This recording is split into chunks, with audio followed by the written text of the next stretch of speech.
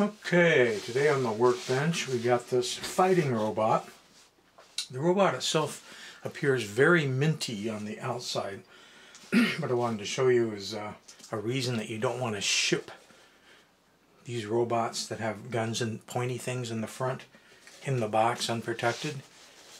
As you can see, this box now has a hole poked all the way through it. That's where the gun resides when the robot's in the box. so not only will it destroy the whole value of the box, since that's the front, that's the that's the money shot, but it also can damage the guns. Now, initially when I pulled it out, the first thing I did was just look it over and, and felt the wheels, and I noticed that this wheel wouldn't even turn. And this actually was a factory error, if you will. I'd already bent the tabs and took the foot off before I thought about shooting any video. And the uh, rubber piece, when it was trimmed from the factory, it was actually so long that when the wheel was wedged in and pinned with the axle, that it just couldn't turn. So even if the robot worked, it wouldn't have been able to walk. Now, as far as working, I just put D-cell batteries in it, and I turn it on, as you can see, we do have a, a gun light well, now we all of a sudden we have motor. I was going to take it apart to try to get the motor going, but we may have lucked out.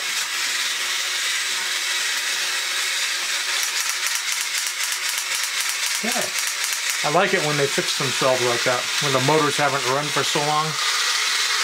You got spinning gears up in the head. You got the gun action. And basically I was going to uh, bend this tab, this tab, lift the top off to get into where I could rotate one of the motor gears. As the grease in the commutator solidifies, and then the motors don't run. Now, on a lot of these, what you find is the, uh, they call this a bow tie switch. These will get broken, and then you'll have to come up with a replacement one. Either make one by hand, 3D print one, or get a resin cast one and replace that. And it's, uh, it's actually quite involved to replace that. And I mean, it involves taking the top off, the front off, the clear visor part off, all to get in there so that you can get to that bow tie and then it's kind of crimped in on a little metal rod and you have to do the crimp on top. It's a big, it's a big pain in the ass. So it's nice to see that the uh, gun didn't get broken by being shipped and hammered and gone all the way through there. It's nice to see that it can walk now. There's the uh, the made in Japan part. Um, in case we didn't look over the rest of the box, here's the uh, end flap. The info on that, and of course your maker information. It's been taped on the sides, which is unfortunate, but better than uh, falling apart, I guess. This end panel's the same, again, been taped, unfortunately. But I guess the biggest disaster, of course, is the uh, the hole. Can't think of anything else on the box we might want to look at. I am happy that the uh, motor decided to spring to life because it wasn't going to be that involved. The hardest part was going to be lifting the top off and finding a gear that I could spin to to get the motor going again.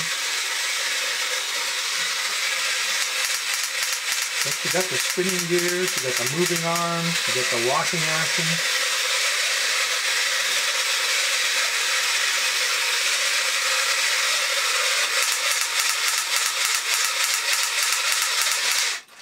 The motor does sound a little dry though.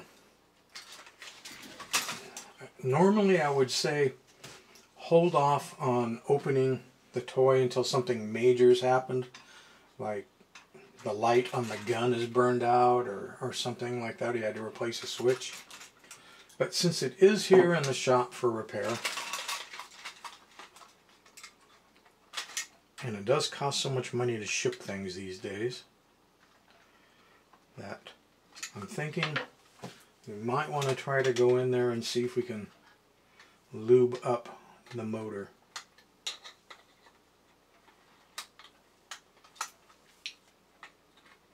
Because it's not going to lube itself and it's only going to get noisier. I know you probably can't see much of what I'm doing, but basically I'll show you here. I bent this front tab open so I could get to the two little tabs. And I'm going to lift this part off. In case you have never seen it, that's what that looks like. There's the two little tabs straightened out. Then we have to do the same thing over on this side. Robot has a lot of dust on it, so it has been on display, but doesn't show any play wear, so that's nice. I mean, the robot itself, if someone took the time to dust it, would be very minty. Very good robot example from that from the 1960s period. Okay, so at that point, generally speaking, it should be possible if I get a little bit bigger prying surface so I don't bend anything up. If nothing else, this will give you guys an inside look at uh, what goes on in one of these with the spinning gears up in the head. Because you're going, wow, how do they get the drive to those spinning gears up in the head? You know, when it was new, of course, these plastic tips weren't on. I have no intention of uh, pulling those off. So let's see here. that, that, okay. The uh, the gears on top of the head get driven through this shaft, as you can see, so they don't have to do a direct drive, and it touches onto this shaft, which moves.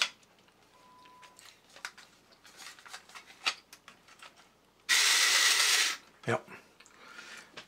And there's, the motor is right up in here. There is one large plastic gear, unfortunately, but it's in good shape. The pinion gear on the motor itself is brass. And the other side of it's here, so I like the position of the motor. It means I should be able to get in there with the precision oiler. And that's any oiler that has a long needle nose on it for reaching in small areas. And a light grade oil like a gun oil or sewing machine oil. And we'll put a drop on the front of the shaft next to the motor and a drop on the back of the motor shaft. Oh, now it runs so much better. So much happier.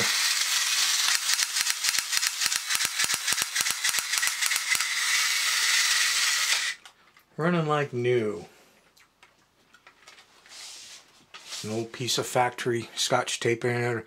Their idea was to keep these wires from getting caught up in any of this spinning stuff. I'm going to leave, well, I mean, that old piece of cellophane tape is just rattling around in there. If I leave it, it'll get caught up in something. So I better take it out. So we've lubed the motor. You guys have had a peek inside. I wasn't really planning on tearing it down any further, but if you were, if a, if a person was going to, see how this piece here can move, you would first have to uh, disconnect your guns from the inside so you can push that gun mechanism in. Then this whole clear piece could slide up and off because it's trapped in a picture frame type groove. If you needed to get down in there to work on the uh, on the switch or anything like that. Let's straighten out this, this, and Get the back tab started again. There we go. There's three of them. Like any time when you've got three of something, I can get two of them started and one of them, one of them tries to fight you. You know, standard stuff.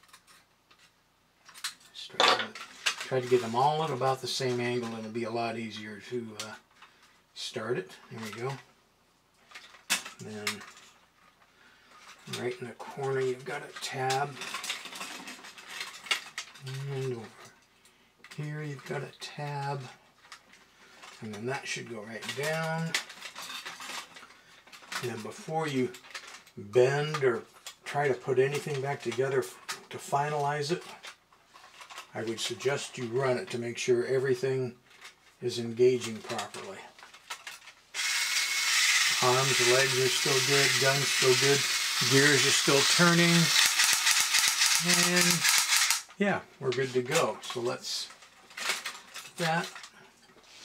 Now, as far as closing tabs on the backs and the sides, see they put little holes so that you could reach in with a small tool. A very small Allen wrench is always a good choice, or small drill bit. And when you reach in there, then you can bend that metal tab down. So. By just fishing it upwards. And that is what's going to hold it together. There we go. Then of course the uh, side pieces that I showed you earlier. They're just going to go right back in place. You need a small screwdriver to spread the tabs apart. Like so.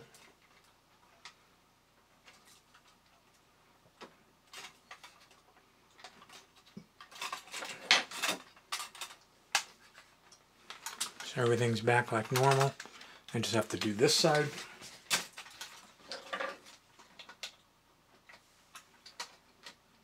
Everything lined up.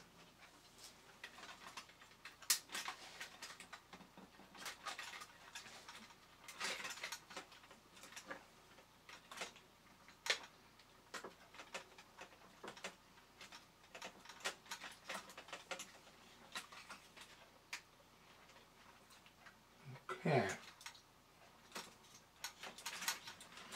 We're now 100% back together on the fighting robot. let's see if it's still happy.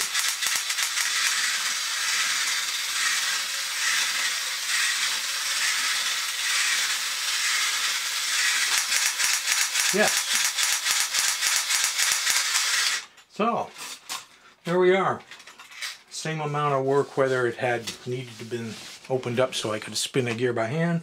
This was even better. Got in there, lubed the motor, showed you guys what was working, how to get in there. Fixed the uh, rubber foot on the ratchet. I think we're good to go.